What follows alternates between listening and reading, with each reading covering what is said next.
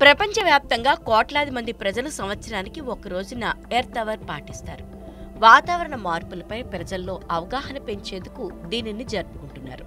ఈసారి మార్చి ఇరవై మూడు రాత్రి ఎనిమిది గంటల ముప్పై నిమిషాల నుంచి తొమ్మిది గంటల ముప్పై నిమిషాల వరకు గంట పాటు నిర్వహిస్తున్నారు. ఆ రోజున అందరూ గంటపాటు అవసరం లేని లైట్లను ఆపివేయాల్సి ఉంటుంది. ఎర్త్ అవర్ అనగానే గంటపాటు లైట్లు ఆపేస్తే బోల్డంత విద్యుత్ ఆదా అవుతుందని మనకు కనిపించే అంశం మాత్రమే. కానీ దీని ద్వారా ప్రపంచానికి ప్రభావవంతమైన సందేశం వెళ్తుంది?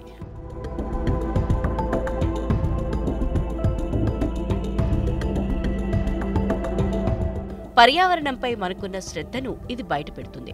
భవిష్యత్ తరాల కోసం ఈ భూమిని రక్షించాలన్న నిబద్ధతను ఇతరులతో పంచుకునేందుకు సంఘీభావం ప్రదర్శించేందుకు మంచి అవకాశంగా నిలుస్తుంది.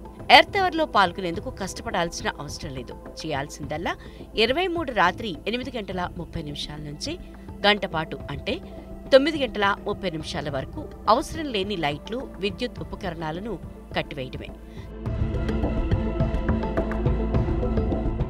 తద్వారా ఆ సమయాన్ని అద్భుతంగా వినియోగించుకునే అవకాశం కూడా లభిస్తుంది.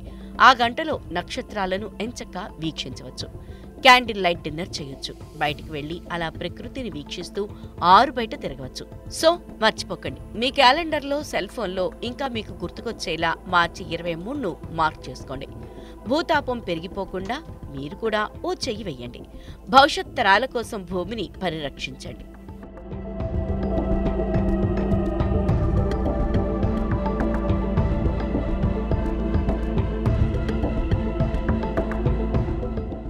ఆస్ట్రేలియాలోని సిడ్నీలో రెండు వేల ఏడులో ఎర్త్ అవర్ పురుడు పోసుకుంది.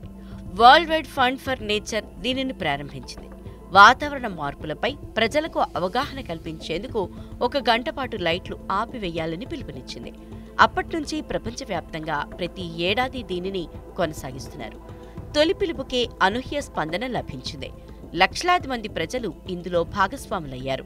ప్రస్తుతం ఇందులో నూట తొంభై దేశాలు భాగస్వామ్యమయ్యాయి.